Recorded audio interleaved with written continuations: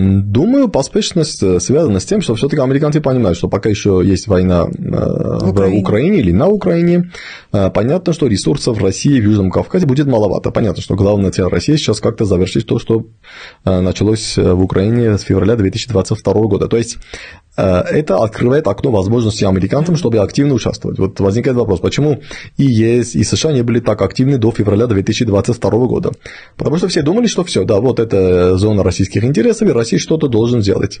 Но теперь они думают, что нет, есть окно возможностей, позиция России ослабла, и плюс сейчас в Вашингтоне есть четкая позиция, что нужно ослабить Россию э, во всем мире, в том числе и в бывшем советском пространстве, в том числе и на Южном Кавказе. То есть, насколько я понимаю, американцы думают, что давайте пока идет война Э, в Украине, давайте да, воспользоваться возможностью подписывать мирный договор и потом использовать этот мирный договор для сначала для вывода российских миротворцев из Нагорного Карабаха, а потом почему бы и не думать про вывода российской военной базы из Армении.